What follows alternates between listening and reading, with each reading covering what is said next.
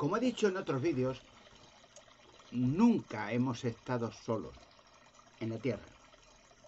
Nunca. Muchas veces se han eh, escrito durante toda la historia, ¿no?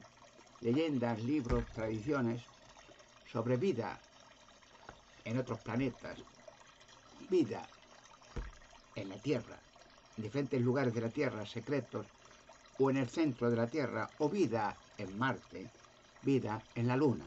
Inteligente, ¿se entiende? Claro, en realidad, en realidad, la pregunta del principio, ¿hemos estado solos? ¿No estamos solos? ¿Hay alguien más? ¿Por qué se esconde? ¿Por qué no dan la cara? ¿Por qué se ocultan? Si hay otras entes, otras vidas inteligentes, ¿por qué no hay un contacto directo con la humanidad? ¿Cuál es el problema? Muy resumido, voy a relatar cuál es el problema. Porque no hemos estado solos nunca. Esa es la verdad. Por ejemplo, antes de la creación del ser humano, por Dios, no por la, eh, evolución ni por el hombre mono, por Dios. El mismo Dios que creó el universo, miliardes de, de, de, galaxias, planetas, infinito. Nadie jamás sabrá dónde está el principio ni el fin del universo. Nadie no podría. Porque el que lo creó, Jehová Dios, el Dios de la Biblia, el que lo creó ha existido eternamente. Y si ha existido eternamente, ¿cuándo empezó? Hacia el universo. Puedes mirar hacia atrás, lo que tú quieras, hacia el pasado, y no llegarás nunca al principio. Y puedes mirar hacia el fin, y tampoco. Por lo cual, con ese pensamiento real, volvamos a la Tierra. ¿Hemos estado solos? Pues no. No, nunca. Porque antes de que el ser humano inteligente fuera creada, por Dios, había ángeles. Pero quizás muy posible, millones de años antes del ser humano. Porque estos ángeles crearon el universo, no ellos, con dirección sobrenatural divina. Ellos obreros, digamos, constructores mediante un plano hecho por el Creador. Entonces, había inteligente vida millones antes del ser humano. Aquí en la Tierra, ¿hemos estado solos? Humanamente, siendo, no está con animales, aves y peces siempre, y estaremos siempre. Pero humanos, inteligentes, porque los animales, las aves, los peces, obran por instinto. Dios ha colocado en su organismo, en su mente, en su cerebro, instinto de conservación. Por ejemplo, por ejemplo, las crías de los animales las cuidan las madres, los padres. Les dan de amamantar o les dan a los pájaros semillas o gusanos, o sea, les alimentan les enseñan a volar. Y cuando son mayores se van y ellos instintivamente hacen un nido semejante a donde nacieron y hacen lo mismo continuamente. Los animales hacen lo mismo. Los peces hacen lo mismo. O sea, es un ciclo constante donde se mueve todo el organismo inteligente creado por el creador. Ahora, humanamente, ¿hemos estado solos? vamos, digamos, en medio de la creación, humanos. Pues no. Porque eh, una vez he dicho divinos ángeles que no son humanos, pueden formar cuerpo humano si quieren, porque todo ser humano y organismo, plantas, cualquier cosa, tiene un doble eh, sentido material y sobrenatural, energía. Nosotros tenemos parte energía y parte material. Es como, digamos, un auto que necesita una batería, una fuente de energía, para que esa fuente de energía mueva cilindros, mueva, e inyecte y haga el carburante funcionar para que mueva los cilindros, etc. Tiene un doble eh, contenido energía-materia. Los humanos, aunque no quiero explicar con todo el detalle, porque es largo de contar, pero hay gente más inteligente que la superficie de la, en el centro de la Tierra. Ya digo que ya explicaré con todo lujo de detalles cuando llegue el momento, no a curiosos, ni a anónimos, ni cosas, porque luego más que lo hacen es que lo copian y se lo atribuyen ellos. Lo han hecho varias veces. Pero bueno, centro de la Tierra.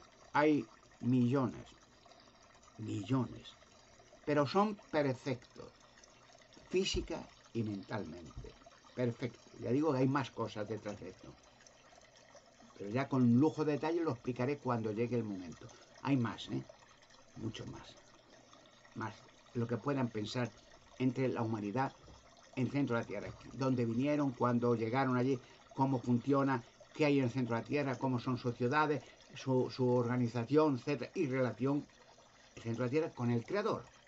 Porque todo el universo, ángeles, planetas, galaxias, humanos, centro de la Tierra, tiene relación con el Creador, que es el que distribuye el orden, la energía, el calor, los alimentos y la vida. Pero ¿y, en Marte? ¿Hay vida en Marte? Sí. Colonias. Voy a decir eh, que muchos organismos, servicio secreto, lo saben, pero no lo dicen. Hasta han contactado con ellos. No lo dicen. Hay muchos, muchos eh, problemas adicionales por no decirlo. Pero las personas de Marte que son inteligentes, como los que hay en el centro de la Tierra, saben más de los que llegan allí a darles consejos. Son inteligentes. Una persona inteligente no se equivoca. Una persona inteligente aprende lo que quiera en un instante de tiempo. Aprender a la persona no inteligente, como el cerebro está dañado, es como, digamos, un ordenador estropeado, que tarda en funcionar, ¿eh?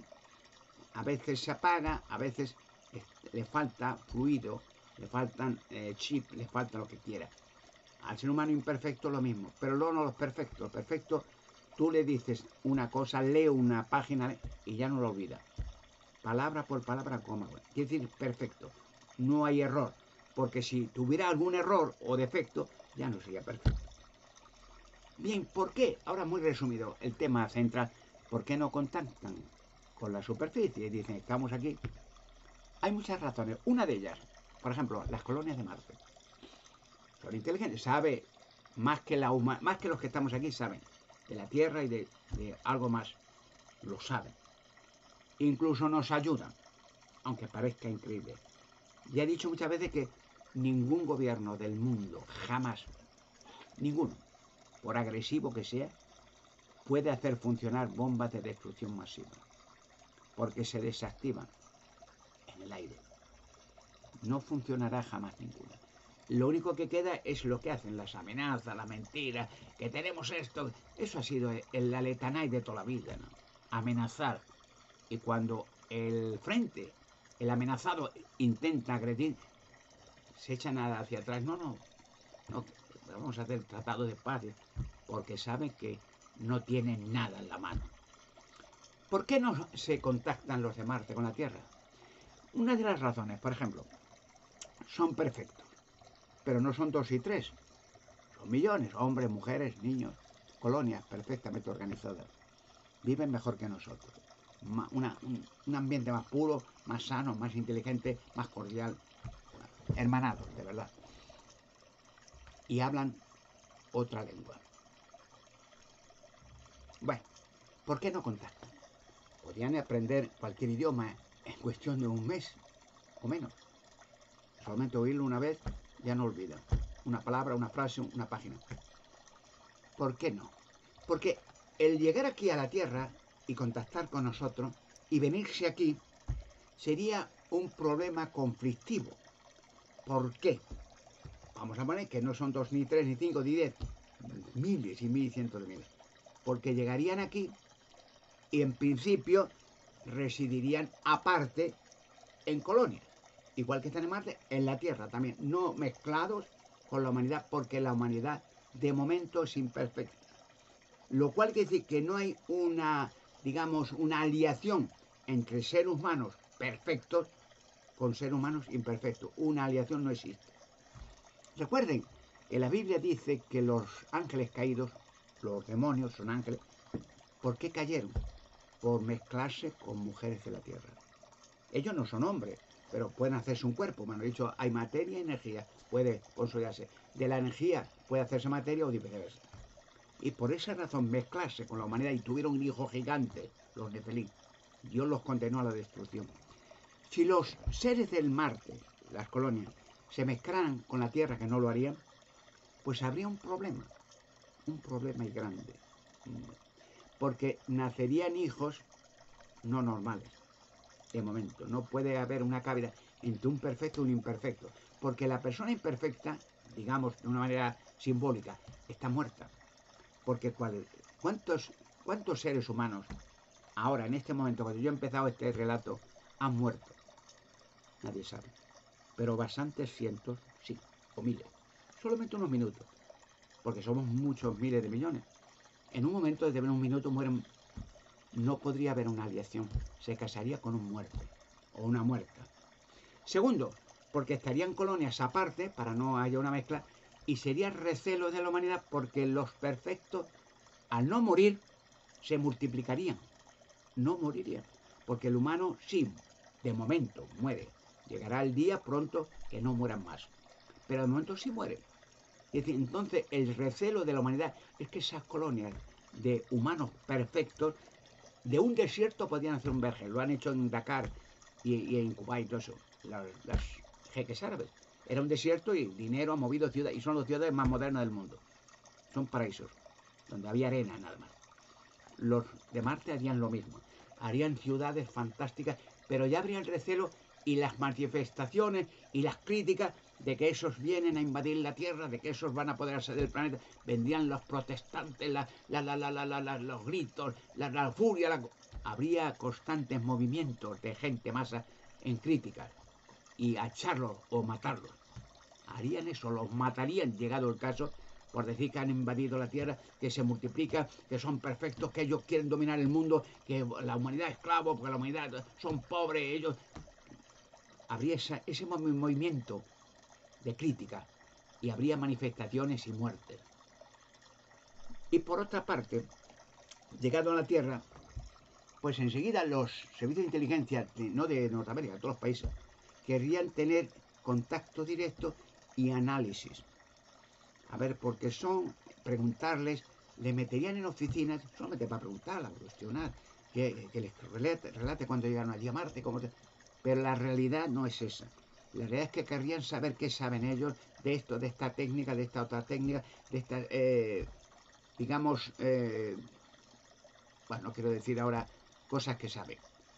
Lo cual sería un, un momento de verdad embarazoso de que las personas perfectas estarían en control, sujeción militar de por vida, porque no los dejarían en contactar con la humanidad por diversas razones o porque sencillamente para evitar manifestaciones y sería un conflicto constante y continuo entre la gente. Incluso los imperfectos intentarían matarlos. Decir que eso es un peligro, empezarían los criticones, los políticos, es un peligro, que esos van a invadir la tierra, que nosotros esclavos de esos, que vienen aquí de la nada y les dan la tierra y son... Y empezarían las críticas constantes. Y no habría paz. Por lo cual, dicho esto, se quedan allí, pero vendrán a la Tierra en un momento determinado en que ya el sistema caduco que vivimos esté ya a punto de perecer. No perecer la humanidad ni la Tierra, el sistema. Y habrá muchos sobrevivientes, millones, que no morirán nunca más. Y serán trasladados al centro de la Tierra, donde hay personas también perfectas y ya tienen casas, ya tienen todo preparado para sobrevivientes del Armagedón Entonces, no habrá problema. Perfecto con perfectos van a casar, familias y vivir para siempre y hacer el trabajo que Dios quiso que hiciéramos a la humanidad. Para eso nos hizo. Para tener en sujeción o cuidar de los animales, las aves, los peces. Ese será nuestro trabajo futuro para siempre. Por lo cual, comprenden por qué todavía no hay contacto ¿Entiendes ya?